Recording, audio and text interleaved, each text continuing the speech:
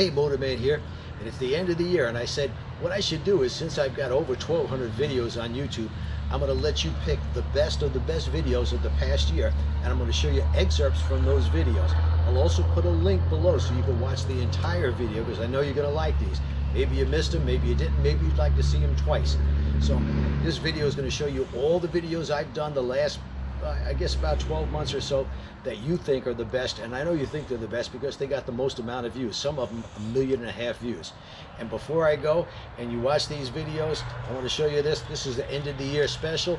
You get my ride like a pro experience video or any of my DVDs and we're going to throw in another video on high speeds absolutely free don't have to call to get this. If you go on the website and order, we're just going to send you the extra one. Any of the DVDs that you purchase, you're going to get this one free. So come on, let's watch these videos.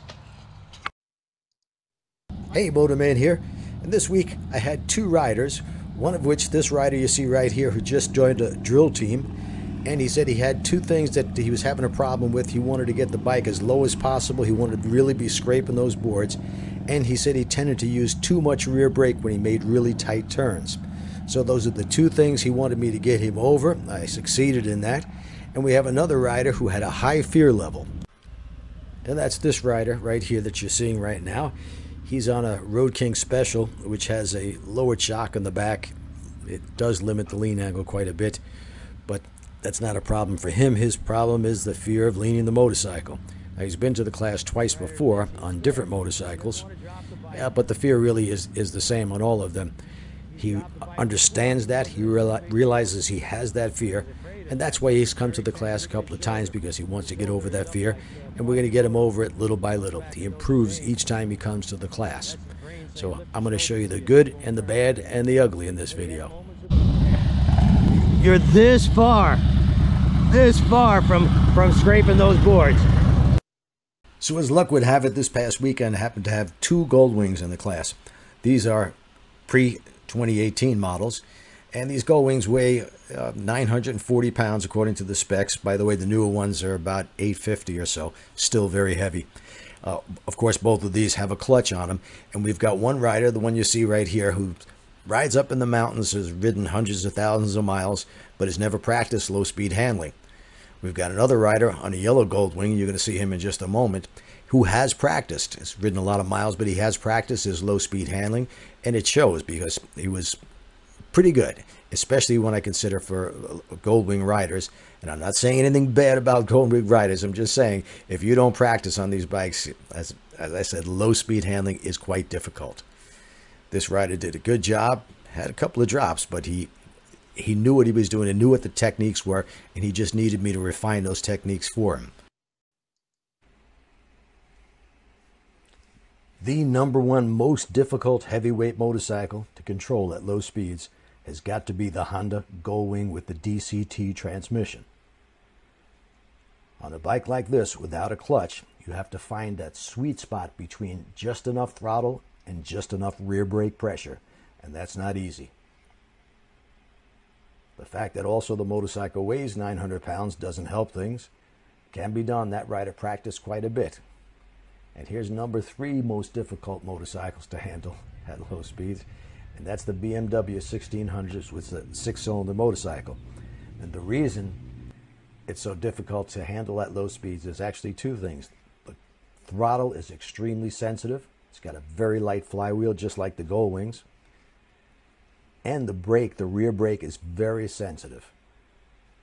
Finding that sweet spot between just enough brake pressure and just enough throttle while in the friction zone, it takes some time. This rider practiced prior to coming to the class, and I'm glad he did. Hey, Motorman here, and today we're going to talk about why you drop your motorcycle. I'm going to show you a bunch of drops. These happened at my class, they happen all the time. Usually, if we have 10 riders, it's 1 out of 10 drops their motorcycle, sometimes 2 out of 10. But it's almost always for the same reason. But we're going to go over these drops and we're going to diagnose every one of them and see exactly what happened so that should you make the same mistake, you'll know exactly why it happened or you'll be able to avoid this mistake. We're going to start with what I believe to be the easiest motorcycle to learn the proper low speed techniques on Harley Davidson Road King. And you could pick just about any year photo there was of a 2021. Here I'm riding my 2019 Police Road King. It's the same as the civilian version, except it comes with the 114 motor instead of the 107. This bike is practically a dream come true on this course because it's got a 32 degree lean angle. That's very good for a heavyweight cruiser. It's got a 64 inch wheelbase and a 26 degree rake. They will turn in about, I think I've got them down as low as 15 feet or so, maybe even a little bit less than 15 feet if you're right on the frame. Of course, you got to know the proper techniques to allow the motorcycle to handle like this, but that's what we're talking about here. If you want to learn the proper techniques, why pick a bike that's very difficult? So I'm looking at only the green cones. That means my head is turning the entire time. I never look at the other cones. I look just at the green. As soon as I get close to this green one, I look at the next one. Then the next one. I'm probably 8 feet, 10, 10 feet from the cone before I turn my head and look for the next one, but my head is turned the entire time.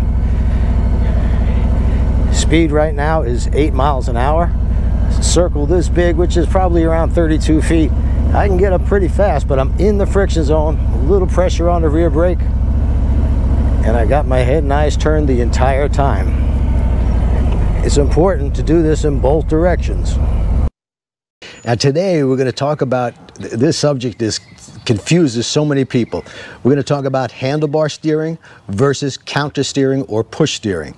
Uh, as, as a slight example here, let me show you this. This is handlebar steering when I'm turning the handlebars in the direction I want to go. And push steering, that occurs above about 15 miles per hour. If you push forward on the left grip, the bike will lean left and go left. Push forward on the right grip, it leans right and goes right.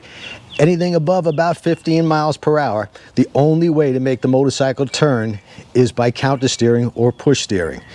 Now, I've heard people say, well, I push down on the bars. Believe me, I don't care how fast you're going, but pushing down does absolutely nothing. You cannot turn the motorcycle by pushing down on the bars. At speed, you're either pushing forward or you're pulling back, but let's not confuse this. And I know there's some physics physicists out there who are going to tell me that you're always counter steering. Forget that. Think of it, two. Things either your handlebar steering, which is at low speeds, or your push steering, which causes the motorcycle to lean. I believe in keeping it simple, stupid. KISS principle. Right now I'm going about 10 miles an hour and I am handlebar steering. I'm turning the handlebars in the direction I want to go. I'll make a U-turn, you'll see the handlebars. I'm going to try to keep my eyes on the handlebars as I do this, but that's handlebar steering. We're going to come up to some turns here. This first one, the road goes to the left.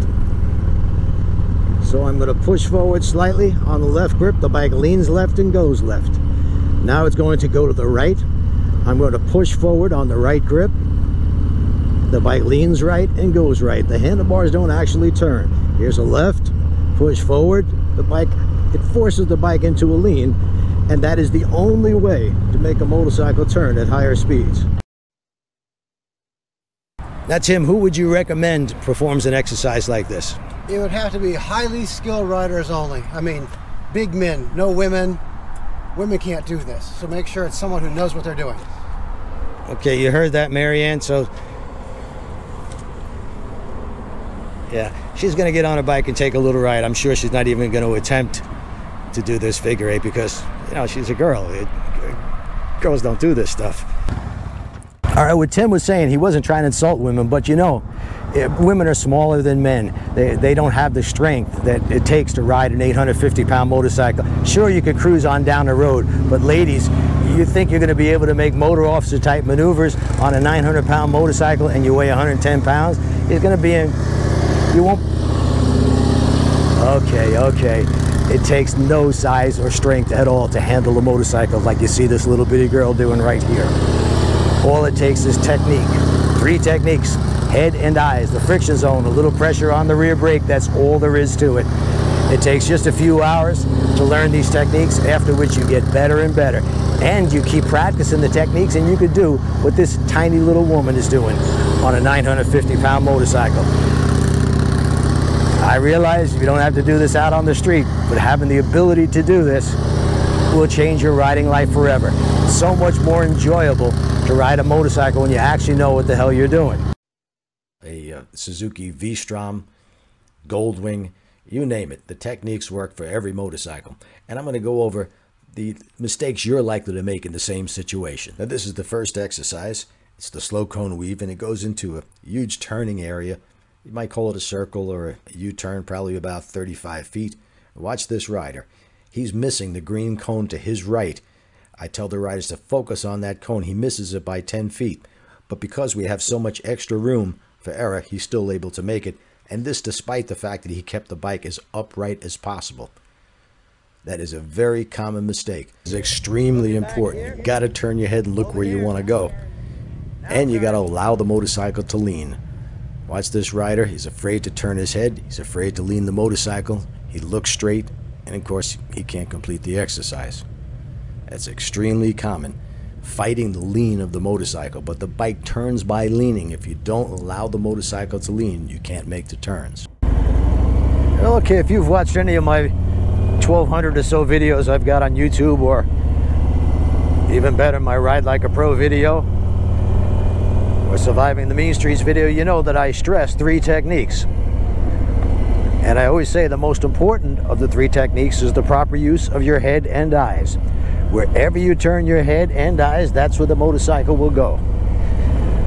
At low speeds, we want to master the friction zone and also the proper use of the rear brake. But the most important technique is the proper use of your head and eyes because you're going to use this at all speeds and especially you better be able to use it at high speeds. Now the most common motorcycle crash that involves just the rider is called failure to negotiate a curve. Rider gets into the turn, may think he's going too fast, straightens up the bike and runs right off the curve. And that happens because the rider doesn't know where to look, how to use his head and eyes. For instance, here I turn my head and eyes and I try to look through the curve. I position myself in a spot that will give me the best view around the curve.